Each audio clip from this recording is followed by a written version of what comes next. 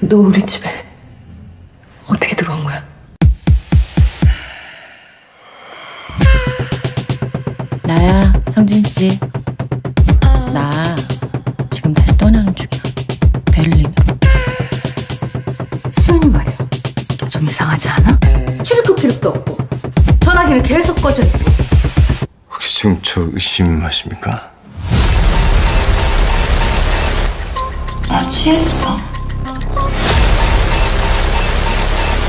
용서 못할 짓을 저질러야겠다. 뭐, 뭐 하는 거야?